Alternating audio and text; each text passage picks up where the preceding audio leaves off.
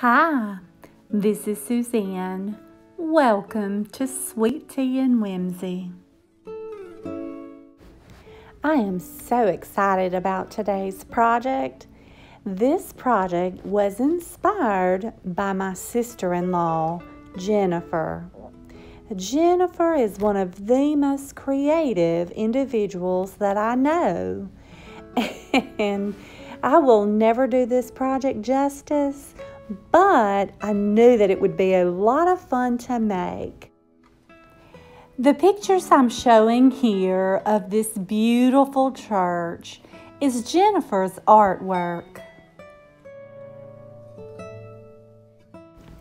Jennifer went to the thrift store and purchased some old canvases, repainted them white, and used hot glue to emboss a picture onto the canvas. And then she painted the canvas into a beautiful piece of artwork.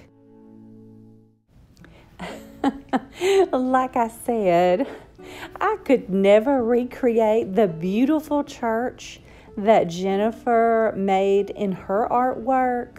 However, I do want to do something similar. I want to create a beautiful church, as beautiful as I can create, because remember, I am not artistic, I just like to play. But I would like to create a church, a church that looks like it's in the middle of winter, a church that looks warm and welcome on the inside, a church that perhaps a wandering stranger that would pass by could see the warmth of the old wood on the outside of the church and the lights peeking through the cathedral windows, and know that he could open the door and be welcome inside. So that's what I'm creating today a white wooden church made with old wood that looks like it's covered in snow in the middle of winter on a very cold night. This was indeed a fun project. And again, for some of you who are creative and who are artistic, I am certain could make a beautiful piece of artwork. Because again, I'm not that kind of girl.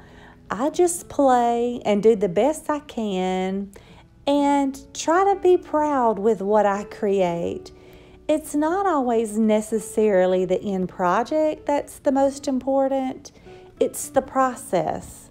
The process of being creative and letting your mind wander to a place where you can release your stress and have a good time. So, think about trying this project. I would love to know what you come up with to create with the hot glue gun embossed artwork. I really enjoyed it, and I think I'll make another one. So I hope you enjoy watching this process as I create this fun piece of winter artwork.